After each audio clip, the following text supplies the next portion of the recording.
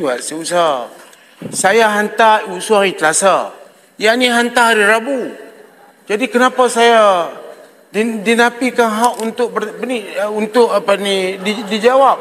Jadi saya tahu saya bukan daripada sana. Anak papa, anak papa. Tapi saya hantar hari Rabu satu. Sahabat Yang tarik balik tadi. Kemarin satu. Tarik balik tuduhan tu.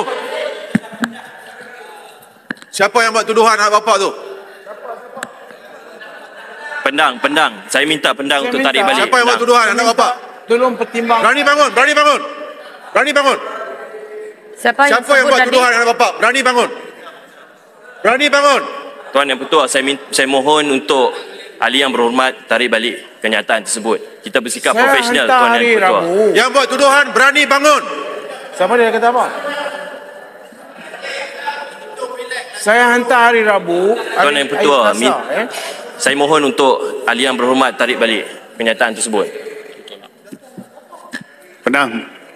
Yang berhormat Arau. yang Pendang berhormat gentleman, Arau. pendang, tarik balik pendang. Biar gentleman jangan buat macam tu. Silakan pendang, tarik balik. Pendang. Pendang. Saya saya mohon Sila untuk tarik pendang balik. tarik balik perkataan tersebut. Berani buat, berani tanggung lah. Saya nak tanya anak siapa? Kalau bukan Apa anak ni? papa. Apa apa Pasal maksud apa yang apa maksud pula? pendang? Ketika Apa kita berada dalam dewan yang mulia ini kita yang bersifat profesional ya lah. pendang. Konflik of interest akan berlaku. Apa Sila konflik of interest? semua. Apa- Yang berhormat Pendang, saya nak jelaskan oleh kerana apa yang disebut oleh Pendang tadi, conflict of interest.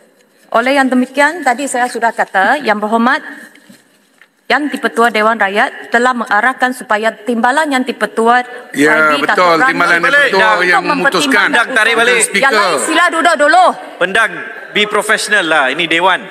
Yang lain Ia sila duduk keputusan dulu. timbalan yang dipertua. Bentang tarik balik. Speaker dah bagi arahan tarik balik lah. Boleh duduk dulu kah? Semua duduk dulu. Bendang.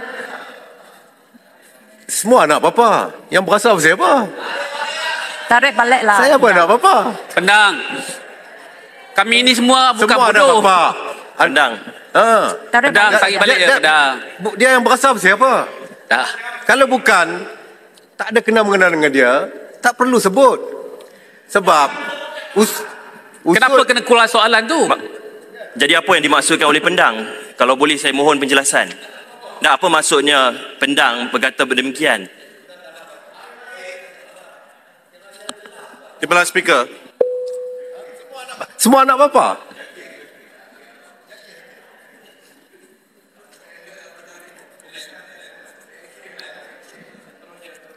Speaker, tadi speaker dah bagi uh, tahu pendang untuk tarik balik. Tapi pendang tak tarik balik. Saya mohon speaker untuk ambil tindakan atas Tarik balik pendang. Eh, Sebab tanya. ucapan daripada Semua anak tadi. papa. Yang berasa apa siapa? Kalau dia bukan, tak ada kena mengena dengan isu anak papa, dia tak ada isnat. Conflict of interest pendang. Kan? You tak faham eh? Kan? Konflik interest pasal dia berasa. Kalau dia tak, berasa, Tak, dia tak berkait dengan interest. apa Arau cakap. Semua anak papa, saya yakin. Usul Arau tak masuk. Speaker. Lepas tu usul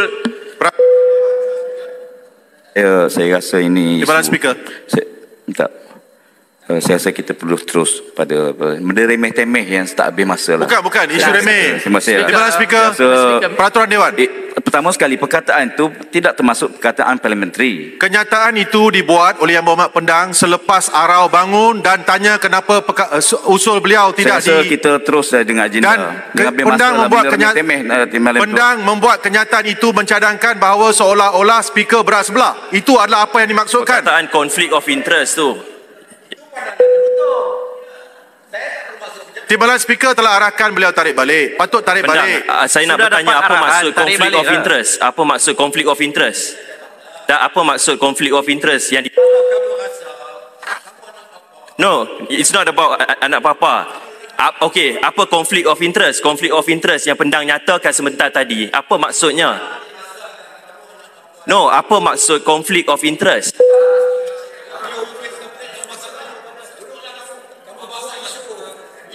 Sila duduk semua. Pendang. Tarik balik itulah. Saya rasa pendang pun bermaksud. Conflict of interest tadi pendang sudah kata. Pendang tarik baliklah pendang. Beras, isu beras bukan konflik Pendang, of tarik balik, interest. pendang, Isu beras ni saya tarik tak balik. menyatakan, Apa saya tidak apa? menyalahkan mana-mana pihak. Isu beras ni Tarik saya tak menyalahkan mana-mana pihak. Hulu Langat. Hulu langat bangkit. Tarik balik. Susah sangat nak faham. Orang semua tarik, tariklah.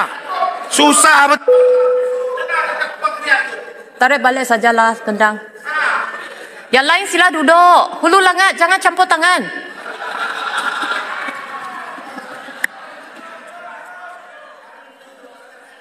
Pendan, jangan baja masa Saya tarik tak bermaksud apa-apa. Ini anak papa. Saya pun anak papa. So, okey lah. Oh, Itu habis lah. sangkaan jahat. Pedang. Pedang, isu konflik of interest. Konflik Timbalan of speaker telah memberi arahan. Timbalan speaker telah memberi petua. Kenapa pendang tak hormat timbalan speaker? Berita yang menggemparkan buat seluruh rakyat Malaysia pada hari ini. Baru-baru ini di dalam media mengatakan bahawa sebuah firma guaman telah melabelkan kelakuan SPRM dan LHDN sebagai menyalahi undang-undang sebarangan dan khususnya akan mengakibatkan pencabulan keistimewaan profesional undang-undang. Peguam Cetan Lauhuan Jetwani daripada firma Cetan Jetwani Company juga berkata, lima pegawai SPRM dan LHDN datang ke firma guamannya sekitar pada jam 9.30 pada Jumaat minggu lalu dengan arahan menggeledah firma bagi merampas dokumen-dokumen yang diperlukan. Dia juga mendakwa pegawai SPRM dan LHDN khususnya tidak mematuhi peruntukan undang-undang dalam Akta SPRM 2009 dan Akta Cukai Pendapatan 1967. Merujuk kepada kenyataan, akhbar dan artikel sosial media berkaitan pegawai-pegawai daripada Suruhanjaya Pencegahan Rasuah Malaysia SPRM dan Lembaga Hasil Dalam Negeri LHDN telah melakukan serbuan terhadap beberapa firma guaman pada 6-10-2023. Laporan akhbar dan artikel sosial media tersebut adalah bersifat spekulatif, mengelirukan dan kilaf dalam sebahagian informasinya. Tambahan pula sumber laporan tersebut adalah daripada sumber yang tidak diketahui dan tanpa nama. Justru itu kenyataan media pada hari ini dikeluarkan untuk memberikan justifikasi terhadap perkara yang telah berlaku dan menyatakan fakta yang sebenar. Bahawa firma guaman saya, Cetan Jatwani dan company merupakan salah satu firma guaman yang hampir digeledah dan disita oleh pegawai-pegawai SPRM dan LHDN pada 6 hari bulan 10 2023. Namun, beliau berkata telah membantah cubaan geledah dan rampasan tersebut. Hal ini kerana tindakan pegawai-pegawai daripada SPRM dan LHDN adalah satu tindakan yang menyalahi undang-undang, tidak berasas dan akan melanggar hak keistimewaan profesional perundangan. Pada jam pukul lebih kurang 10.45 pagi, pegawai-pegawai daripada SPRM dan LHDN telah hadir kembali ke firma Guaman dan menyerahkan perintah mengemukakan dokumen dan perintah menghadiri pemeriksaan ke SPRM untuk merekodkan kenyataan pada jam 3 petang yang sama pada 6 hari bulan 10 2023. Tambahannya lagi, ketika sesi rakaman kenyataan, beliau juga menekankan berkaitan hak keistimewaan profesional perundangan dan perkara itu telah direkodkan di dalam kenyataan yang direkam. Sekian info ringkas dari saya untuk anda. Kita akan berjumpa lagi. Salam jumpa dan salam kenal. Bye-bye.